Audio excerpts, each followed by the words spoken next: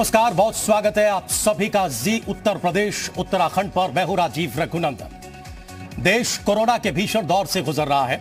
हर तरफ़ एक ही तस्वीर और एक ही पुकार है।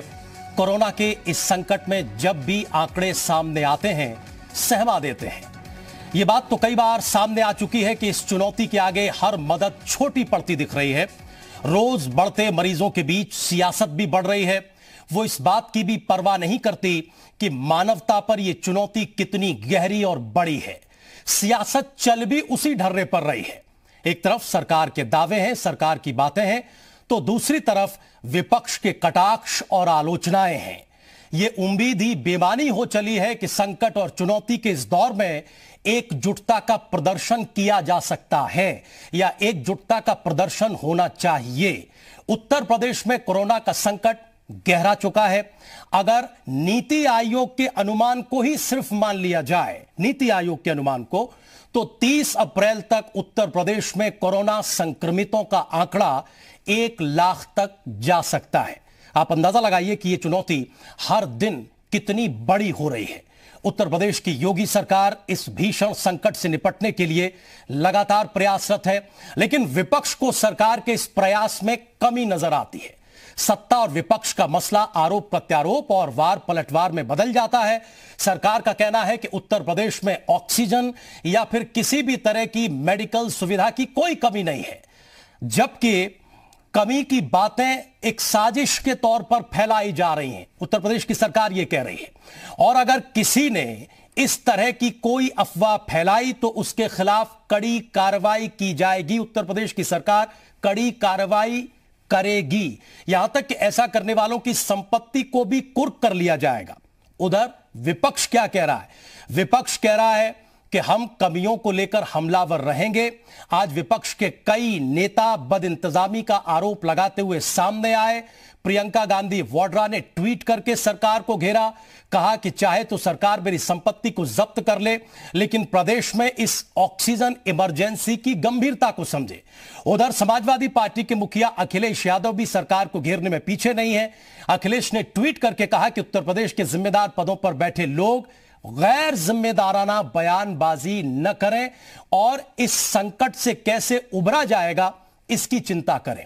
अब से थोड़ी देर पहले मुख्यमंत्री योगी आदित्यनाथ ने एक बार फिर यह साफ़ किया कि उत्तर प्रदेश में ऑक्सीजन या फिर किसी भी तरह की मेडिकल सेवा, मेडिकल सुविधा की कोई कमी नहीं है। सवाल यह है कि ऐसे भीषण संकट के दौर में भी ये अलग अलग दावे, ये वार पलटवार क्या दिखा रहा है, क्या बता रहा है? यूपी मांगे उत्तर में हम यही टटोलने और तलाशने की कोशिश करेंगे।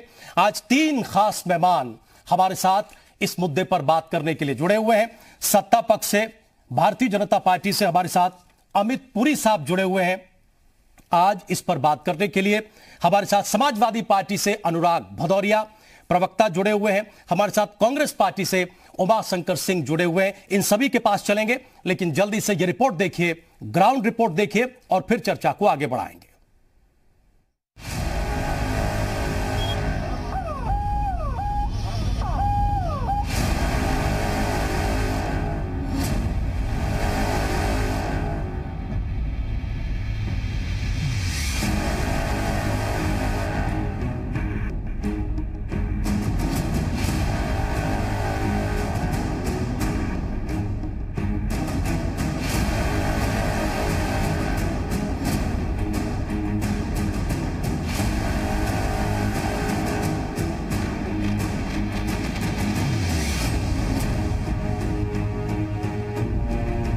उत्तर प्रदेश में कोरोना को लेकर सत्ता पक्ष और विपक्ष में वार पलटवार का दौर जारी है।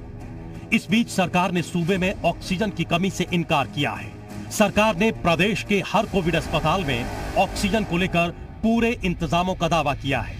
साथ ही ऑक्सीजन की कमी की अफवाह फैलाने वालों पर कड़ी कार्रवाई की बात कही है। जितनी उत्तर प्रदेश की आबादी है, उतना देश के अंदर अगर आप देखेंगे तो 22 राज्य आते हैं तब उतनी बड़ी आबादी होती है। उस सब के बावजूद आपने देखा होगा, ऑक्सीजन की क्राइसिस दिल्ली के अंदर है यूपी के अंदर ना के बराबर है। वहीं विपक्ष ने सरकार के ऑक्सीजन की कमी न होने वाले दावे पर सवाल उठा दिए हैं। समाजवादी पार्टी के अध्यक्ष अखिलेश यादव ने ट्वीट करके सरकार पर हल्ला बोला। कांग्रेस की नेता प्रियंका गांधी वाड्रा ने भी ट्वीट करके सरकार को घेरा है। उधर प्रमोद तिवारी ने कोरोना के बढ़ते मामलों और ऑक्सीजन की कमी के लिए सरकार को जिम्मेदार ठहराया। जिस तरह 9000 मैट्रिक टन ऑक्सीजन, रेमडेसिविर की सहित तमाम दवाएँ और वैक्सीन बांटी गई बयासी देशों में, आज अभूतपूर्व संकट से उत्तर प्रदेश गुजर रहा है। बीएसपी अध्यक्ष मायावती ने भी ट्वीट करके कहा है कि ऑक्सीजन और दवा की कमी पूरी होनी चाहिए।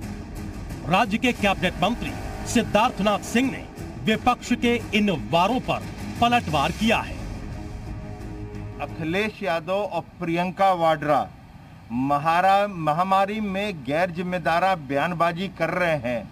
वो सीधा दिखाता है उनके राजनीतिक शून्यता। आप लोगों के मित्र थे, चाहे वो माफिया हो चाहे वो डॉन हो, उन लोगों के ऊपर और कालाबाजारी करने वाले, उन लोगों के ऊपर जिस प्रकार से योगी सरकार कार्रवाई कर रही है, आप लोग उससे बौखलाए हैं। कोरोना महामारी के इस दौर में सत्ता और विपक्ष को राजनीति से बचकर आम लोगों के लिए काम करने की ज़रूरत है। Bureau report, Zee Media. अक्सर ऐसा होता है किसी भी महत्वपूर्ण मुद्दे या चुनौतीपूर्ण विषय पर जब आरोप प्रत्यारोप बढ़ जाते हैं तो जो मूल स्थिति है, उससे हम सब भटक जाते हैं। दुर्भाग्यपूर्ण हालत यह है कि आज भी ऐसा ही होता हुआ दिख रहा है। जैसा कि हमने शुरुआत में कहा कि मानवता के इतिहास में शायद ही इससे बड़ी कोई चुनौती हो, पूरी दुनिया इससे जूझ रही है। लेकिन हमारे देश में या हमारे प्रदेश में ऐसे मुद्दे पर भी सियासत ही हो रही है। दो खास मेहमान हमारे साथ जुड़े हैं, सीधे उनके पास चलेंगे। अमित पुरी साहब, सत्ताधारी पार्टी, भारतीय जनता पार्टी के नेता प्रवक्ता अनुराग भदौरिया साहब, विपक्षी पार्टी, मुख्य विपक्षी दल, समाजवादी पार्टी के नेता प्रवक्ता, आप दोनों का बहुत स्वागत। सबसे पहले सत्ता पक्ष यानी बीजेपी के पास ही पुरी साहब आना चाहेंगे। और संक्षेप में टू दी पॉइंट हम समझना यह चाहते हैं कि यह नौबत क्यों आ रही है इस चुनौतीपूर्ण वक्त में भी? क्यों विपक्ष आरोप लगा रहा है? क्यों आप लोगों को सफ़ाई में यह कहना पड़ रहा है? और तीसरी बात, क्यों ज़मीन पर एक अलग तस्वीर दिखाई दे रही है? अब से थोड़ी देर पहले मुख्यमंत्री ने फिर दोहराया है कि कोई कमी नहीं है, न मेडिकल सुविधाओं की, सेवाओं की, न ऑक्सीजन की, लेकिन विपक्ष फिर भी अपनी उसी बात पर टिका हुआ है। यह क्यों हो रहा है पुरी साहब?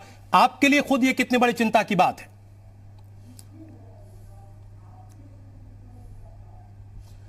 देखिए सामान्य तौर पे मेरा मानना है कि मीडिया की अपनी विजडम है और उस पर मैं क्वेश्चन नहीं करता और आज भी नहीं करूँगा। और लोकतंत्र में अभिव्यक्ति और असहमति ये लोकतंत्र के मूल है इससे कोई इनकार न मेरा था न है न रहेगा। लेकिन मुख्यमंत्री ने अपने वक्तव्य में स्वयं ये कहा कि कमी ना के बराबर है। ठीक। अब से तीन दिन चार दिन पहले उत्तर प्रदेश में ऑक्सीजन की कमी थी। 600 से 800 परसेंट ऑक्सीजन की डिमांड अचानक बढ़ी थी। ऑक्सीजन की सप्लाई और लॉजिस्टिक्स के अंदर कुछ प्रॉब्लम्स थी। लेकिन within no piece of time हमने उसको चाहे जैसे भी हो उसको मैनेज करके चीज़ों को इस, इस दिशा में लाने का प्रयास किया रेमटेविजर के बारे में भी मुख्यमंत्री ने कहा हम्म। कि हमने स्टेट प्लेन से लिफ्टिंग कराई और डिस्ट्रिक्ट मजिस्ट्रेट्स के हाथ में दिया हम्म। क्योंकि लोग पैनिक बाइंग करके भी रख रहे थे और कुछ जगह अदरवाइज़ हम्म। चीज़ें भी थी होर्डिंग वगैरह की जिस पर एसटीएफ ने कई जगह पर छापे मारकर पुलिस ने कार्रवाई करके ये कोशिश की कि ना पैनिक बाइंग हो और ना लोग होर्डिंग करें ठीक है मेरा एक चीज़ ज़रूर इस प्रथम दौर के चर्चा में एक ही निवेदन था। हम्म। मैं विपक्ष से भी यही कहना चाहूँगा हम्म। कि जहाँ सरकार की कमियाँ हैं आप इंगित करें। हम्म। और मैं उसे कमी भी नहीं मानता। आप कहेंगे हम जनता की पीड़ा को आवाज़ दे रहे हैं। हम कई साल विपक्ष में रहे हम इसको स्वीकार करते। आप आवाज़ ज़रूर दें बिल्कुल दें अच्छी बात है। लेकिन आवाज़ देना और पिटी पॉलिटिक्स करना और पार्टी लाइन के ऊपर चीज़ें करना इन दोनों में अंतर होता है और एक ही दृष्टांत दूँगा इस दौर के अंदर। जी। जो वैक्सीन भारत के वैज्ञानिकों ने दो दो दो वैक्सीन इस देश के वैज्ञानिकों ने बनाई और दुनिया के सामने ला करके दी। रिसर्च के अंदर प्रोवेन हुई।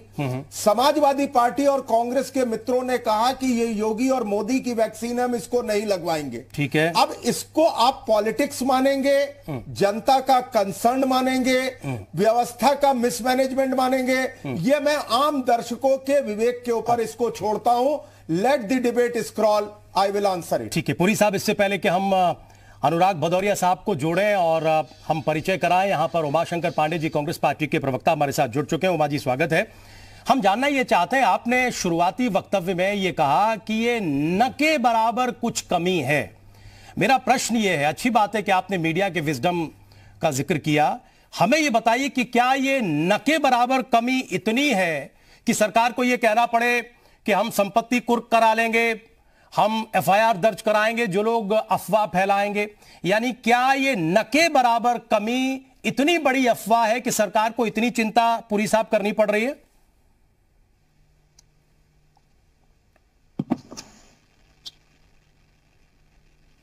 अमित पुरी साहब, मेरा प्रश्न आपने सुना?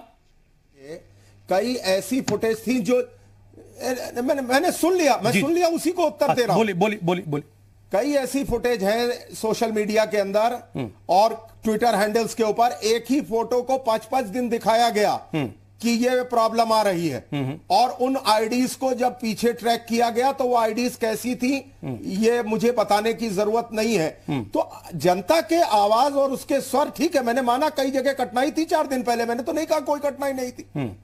मैं ज़मीन पे काम करता हूँ खुद साढ़े तीन पौने चार बजे तक रोज सुबह। इनवेरेबली मैं आपको बता रहा हूँ मैं नाम टेलीफोन नंबर के साथ पेशेंट्स के साथ शेयर कर सकता हूँ कि जिनके लिए प्रयास किया गया। मैं उसकी कोई चर्चा नहीं कर रहा। कुछ सरवाइव किए कुछ हेवनली अवार्ड के लिए चले गए। उसका भी हमको कष्ट है। लेकिन मैं कह रहा हूँ कि एक ही तरह की ट्विटर मैन्युफैक्चरिंग इंडस्ट्री से व्हाट्सएप इंडस्ट्री से आप एक ही तरह की फ़ोटो पाँच दिन डालेंगे तो ये ये इसने चिंता बढ़ा पैनिक बाइंग कराने के लिए काम पुरी साहब आप ये कह रहे हैं कि इस बात ने चिंता बढ़ा दी इस बात ने चिंता बढ़ा दी कि एक ही फ़ोटो को आम आम आदमी आम आदमी के मन आम आदमी के मन में भय की अभिव्यक्ति नहीं होनी चाहिए। अच्छा और इस भय से इस इस भय की अभिव्यक्ति से पूरी साहब बहुत छोटा छोटा।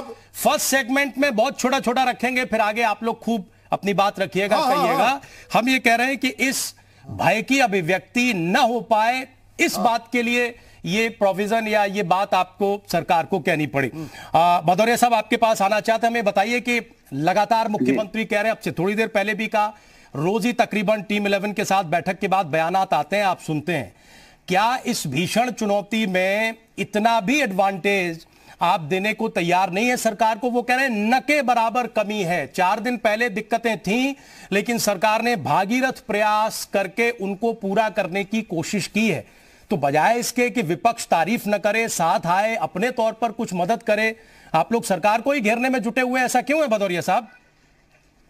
देखिए वो आप भी अच्छी तरह जानते हैं जब आप सवाल पूछ रहे थे भारतीय जनता पार्टी के प्रवक्ता से तो आपके जहन में भी वही सवाल है जो मैं जिसकी बात कर रहा हूँ कि उत्तर प्रदेश के मुख्यमंत्री जी बार बार ये कहते हैं कि ऑक्सीजन की कमी मान भी रहे हैं और चुपके से मान रहे हैं ना के बराबर है। अगर वो यही बात अपने प्रवक्ताओं को बुला के पूछ लेते अपने कार्यकर्ताओं को बुला के पूछ लेते कि उन्होंने रात दिन तक जैसा भी प्रवक्ता महोदय कह रहे थे बीजेपी के रात दिन तक साढ़े चार बजे तक तीन बजे तक मैं जगह हूँ टेलीफोन नंबर दे सकता हूँ किन किन लोगों की मदद की। किन लोगों की मदद की? वही लोग होंगे ना जो परेशान होंगे जिनको ऑक्सीजन नहीं मिल रहा होगा जिनको बेड नहीं मिल रहा होगा जिनको वेंटिलेटर नहीं मिल रहा होगा उन्हीं की तो मदद कर रहे होंगे ना।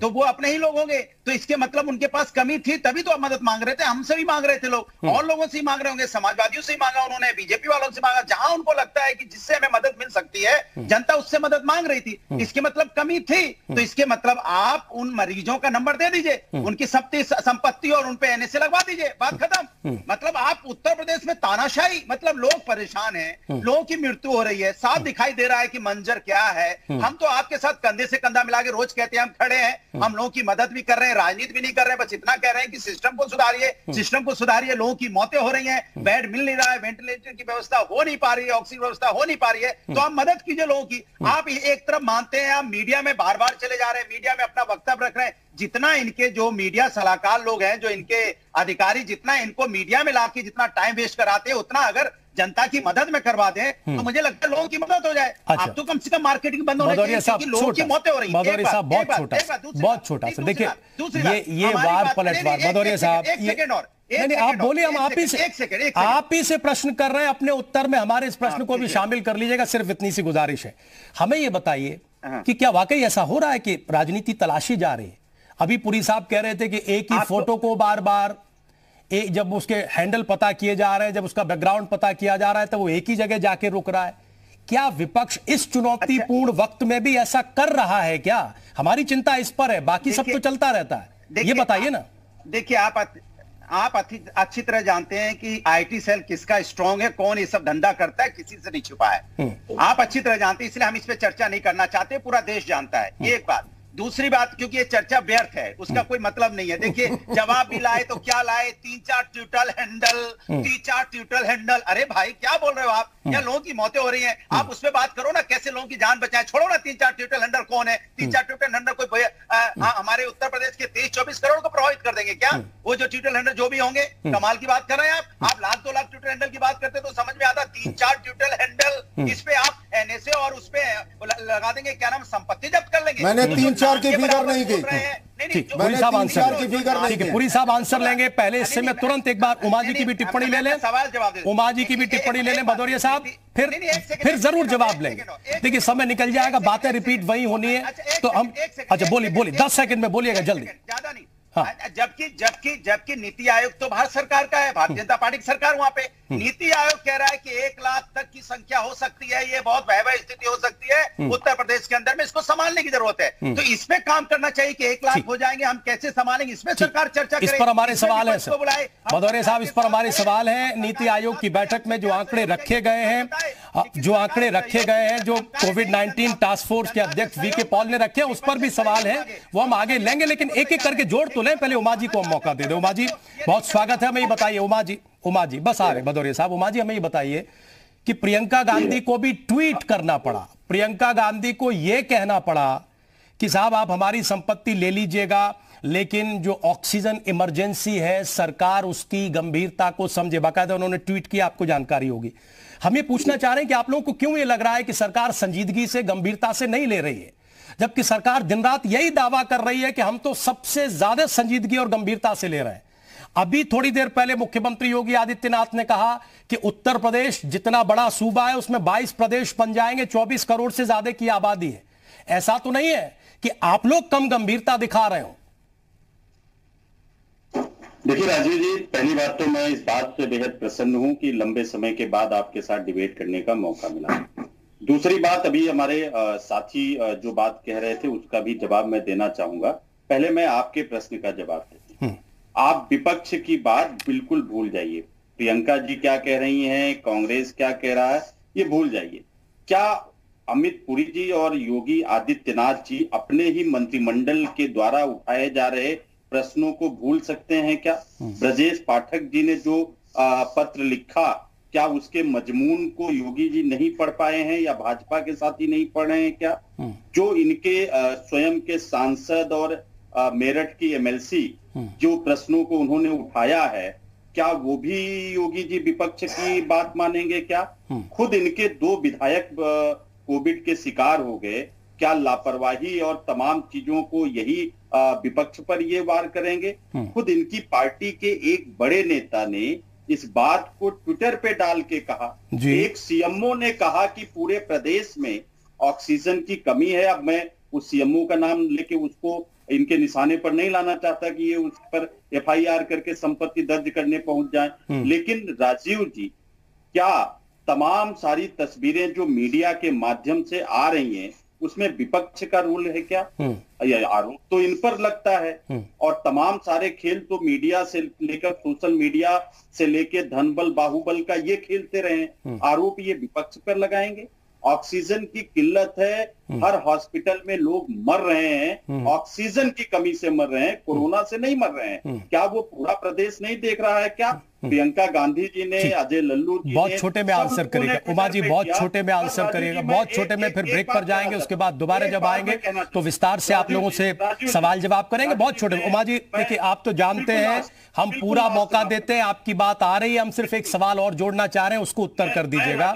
बहुत सारे शब्दों को या बातों को दोहराने से कोई लाभ नहीं होता है दर्शक भी हाँ, दर्शक भी उसे बहुत अच्छा नहीं समझते। हमें ये बताइए कि पुरी साहब का ये दावा या मुख्यमंत्री योगी आदित्यनाथ का ये दावा कि बेशक हालात मुश्किल थे चार दिन पहले लेकिन अब हमने काफ़ी कुछ कंट्रोल किए हैं। इससे तो सहमत है या इस पर भी कोई आपत्ति है? नहीं बिल्कुल आपत्ति है। देखिए मैं तो अ, मैंने भी ट्वीट करके योगी जी को टैग करके पूछा था कल कि योगी जी हमारे पास इस समय तीन पेशेंट हैं। एक ग्रेटर नोएडा में है दो लखनऊ के हैं। दोनों को ऑक्सीजन और तीनों को ऑक्सीजन और बेड की तत्काल ज़रूरत है। आपकी उपलब्धता आप जहाँ कहिए मैं वहाँ भेज दूँ। ये हमने ट्वीट किया और योगी जी का कोई जवाब नहीं आया। आज फिर आपके आप सम्मानित एंकर हैं और बड़े पत्रकार हैं आप। आज फिर मैं कह रहा हूँ करीब सात आठ लोग अभी भी बेटिंग हैं। मैं नाम दे दूँ तो ठीक। मेरे पास उनकी व्हाट्सएप डिटेल है और अमित पुरी जी बैठे हैं ठीक है। पुरी साहब पुरी साहब हाथ कंगन को आरसी क्या पढ़े लिखे को फारसी क्या हाथ के हाथ वो दे रहे हैं और उम्मीद ये कर रहे हैं कि इसको तुरंत सॉल्व कर दीजिएगा निपटा दीजिएगा। हालाँकि टेलीविज़न डिबेट में ऐसा होता नहीं है। जो भी प्रश्न विपक्ष की तरफ़ से आए हैं उनको उत्तर करिएगा। एक बहुत छोटा सा ब्रेक हम यहाँ पर ले रहे हैं। एक बहुत छोटा सा ब्रेक हम यहाँ पर ले रहे हैं। ब्रेक के उस पार आएँगे। तो आगे, यानी नीति आयोग ने जो इशारा किया है, उसकी कितनी मुकम्मल तैयारी हो रही है, इस पर भी बात करेंगे। और सरकार के दावे और ज़मीन में जो फ़र्क दिख रहा है, वो कैसे फासला पाटा जाएगा, इस पर भी प्रश्न करेंगे। तुरंत लौट रहे हैं।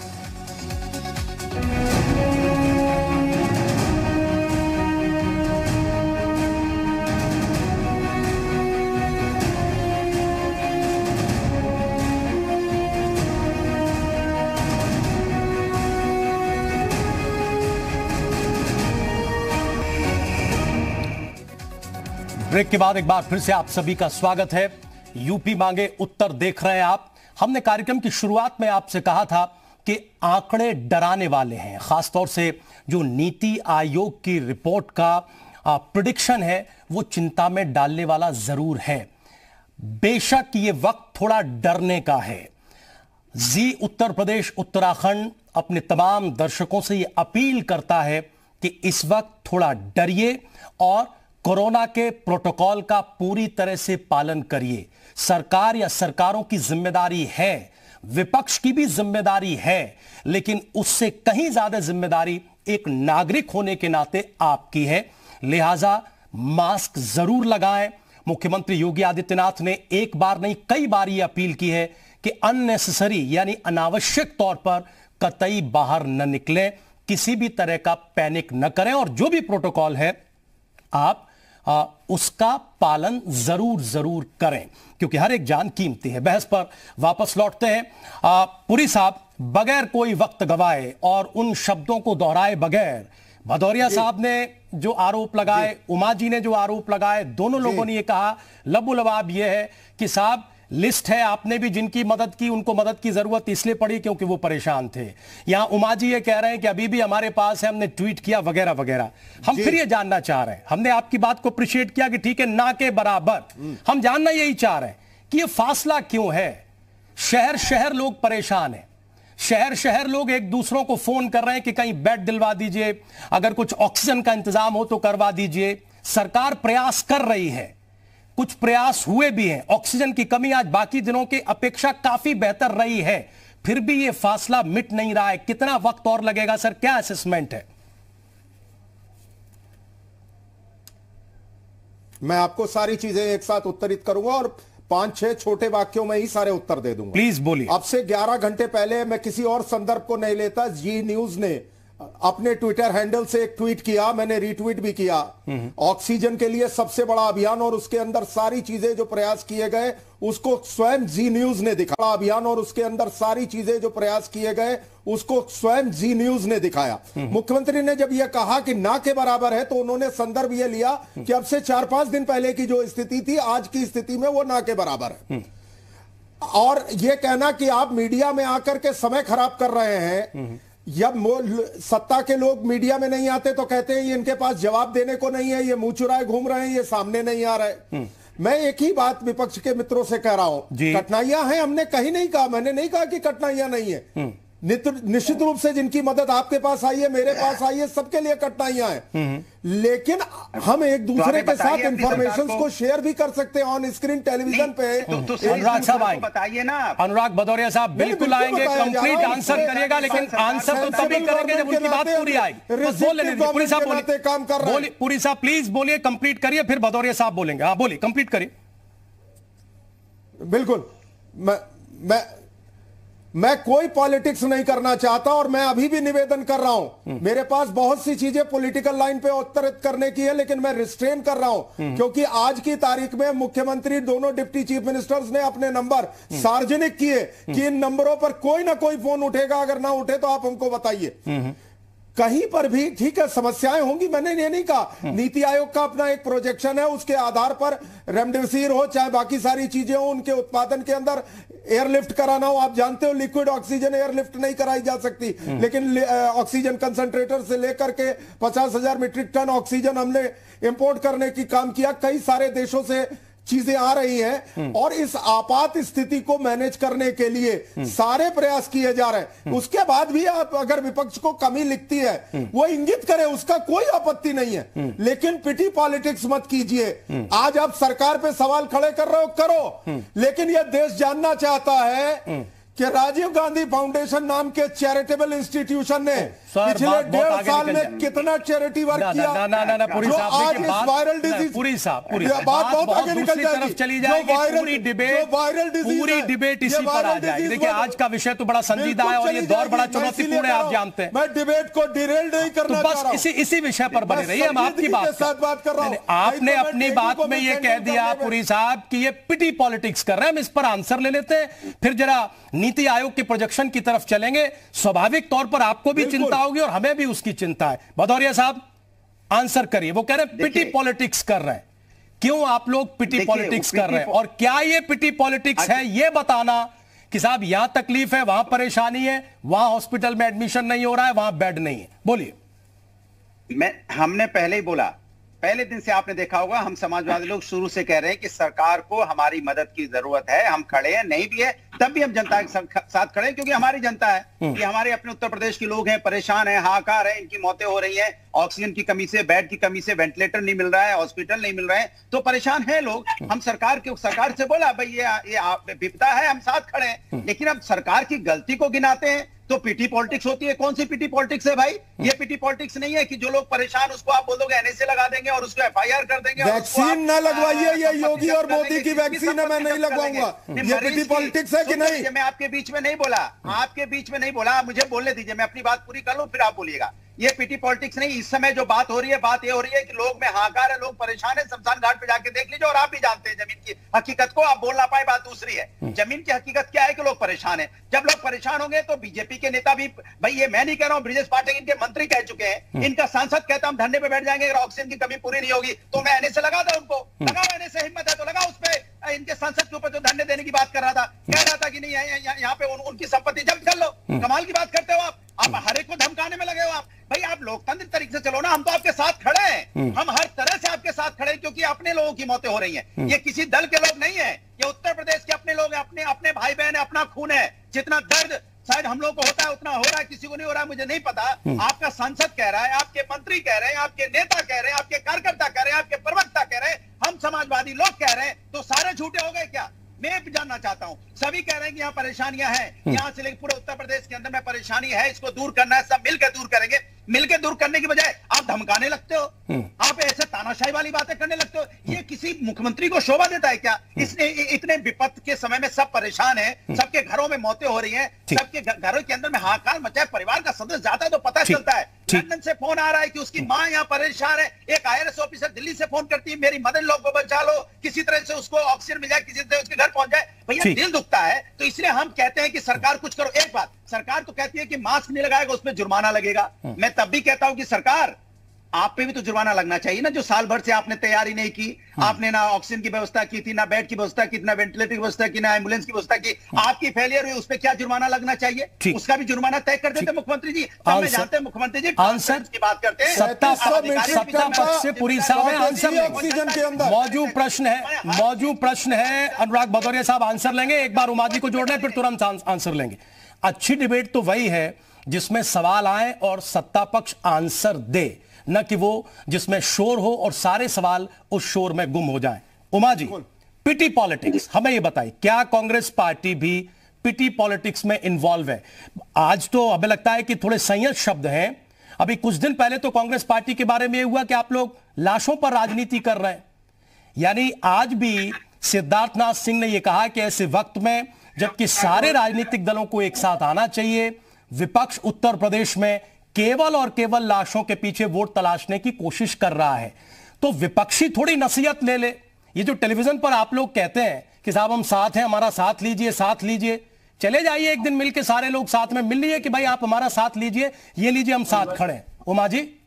बुला लेना। राजीव जी देखिए कांग्रेस पार्टी लगातार अपनी जनता के लिए सकारात्मक दृष्टिकोण से लगातार संघर्ष कर रही है। प्रियंका गांधी जी ने छत्तीसगढ़ से एक टैंकर ऑक्सीजन भिजवाया और इसके पहले कोरोना का जो पहला बेब आया था तब प्रियंका गांधी जी ने बसें भेजी थी। और अभी आदरणीय डॉक्टर मनमोहन सिंह जी ने सरकार को सुझाव भेजे और बदले में इनके स्वास्थ्य मंत्री जी ने जिस भाषा का प्रयोग करते हुए डॉक्टर मनमोहन सिंह जी को जवाब दिया उस गली छाप भाषा को पूरे देश ने देखा। कांग्रेस कब इनके साथ नहीं खड़ी रही? कांग्रेस हमेशा इनके साथ खड़ी होना चाहती है जनता की मदद के लिए। प्रियंका गांधी जी ने बार बार योगी जी को पत्र लिखा बार बार कहा हम हर मदद करने को तैयार हैं। अब कांग्रेस पार्टी अपने दम पर हर ज़िले में कोविड हेल्प डेस्क की आज से शुरुआत कर चुकी है प्रदेश मुख्यालय से लेकर सभी जनपदों में। प्रदेश के कोविड से परेशान लोगों के मदद करने के लिए हमारा हेल्प डेस्क आज तैयार हो रहा है। नहीं लेकिन कैसे मदद करेंगे? उमा जी उमा जी मदद कैसे करेंगे? भाई टेलीफोन पर बताया ही तो जा सकता है लेकिन जिस हेल्थ सिस्टम पर आप इतने क्वेश्चन लगा रहे हैं अंततः तो वहीं जाना होगा।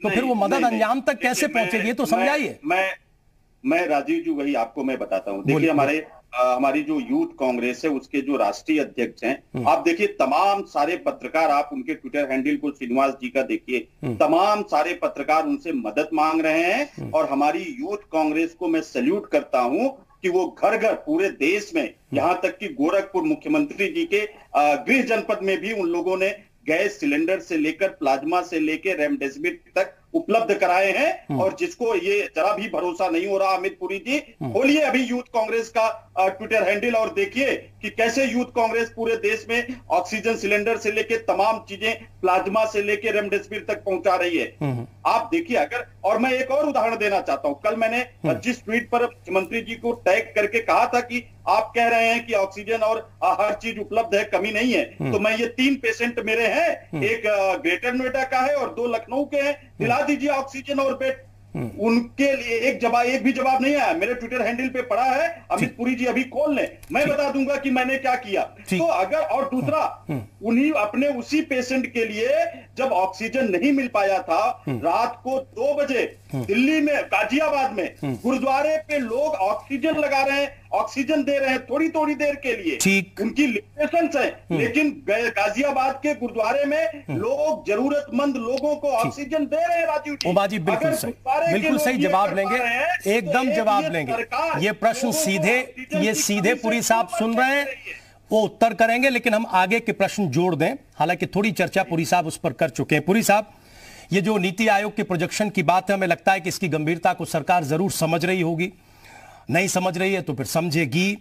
ये बताइए कि ये भी कहा जा रहा है, उसी प्रोजेक्शन में जो विजय पॉल साहब हैं, उन्होंने ये कहा है कि 15 मई तक यूपी सबसे बड़ा हॉटस्पॉट होगा।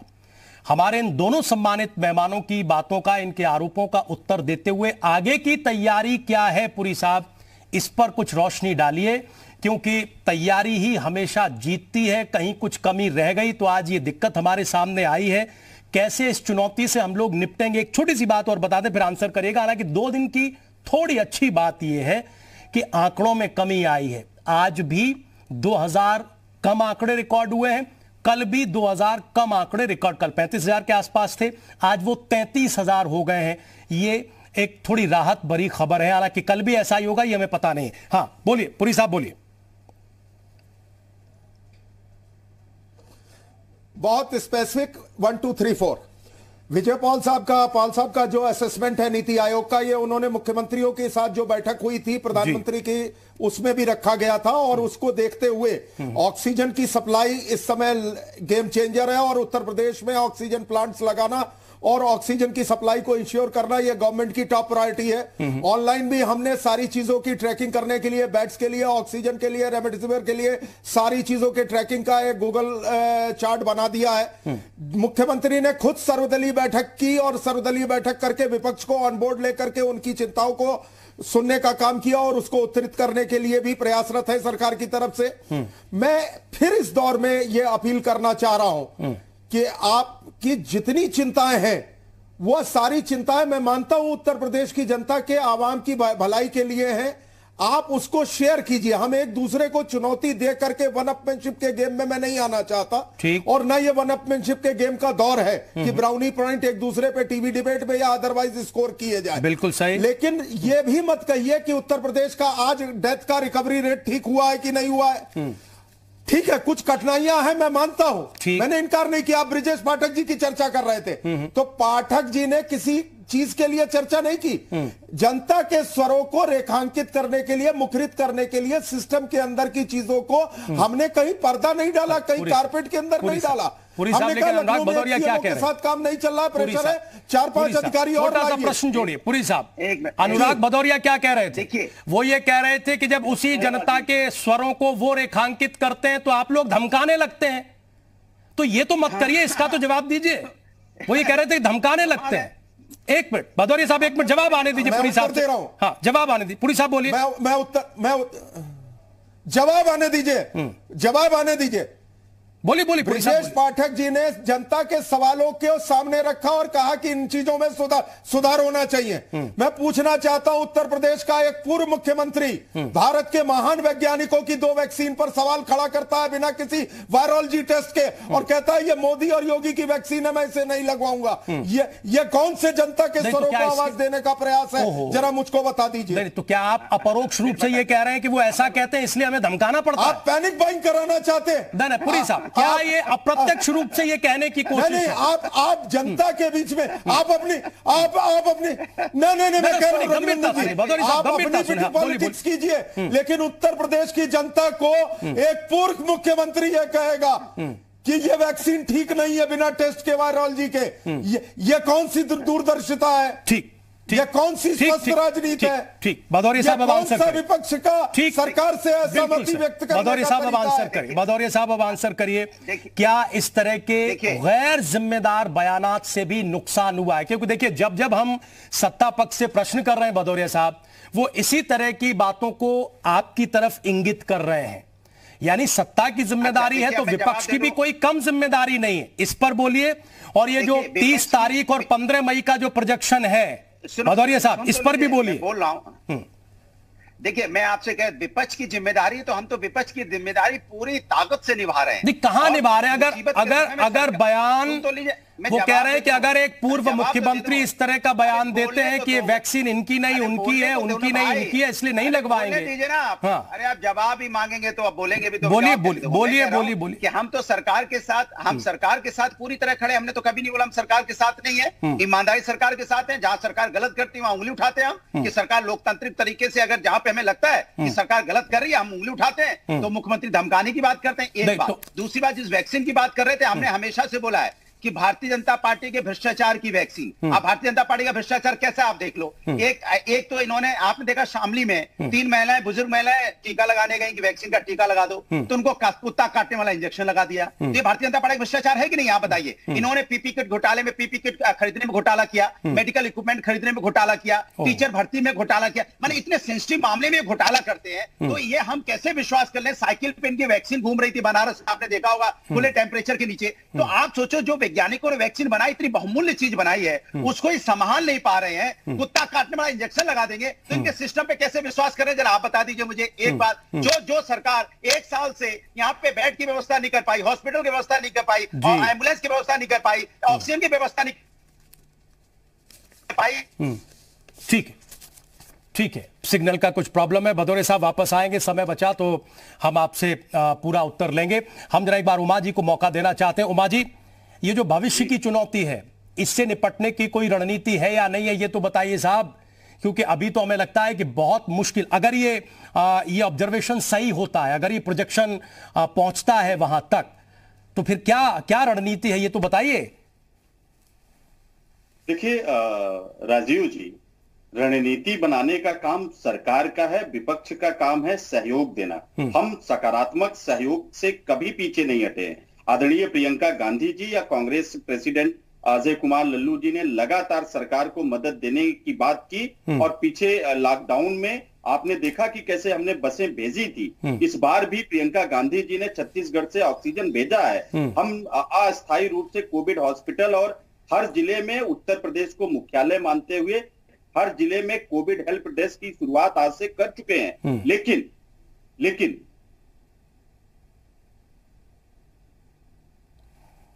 उमा साहब के भी आ, सिग्नल में कुछ इशू है।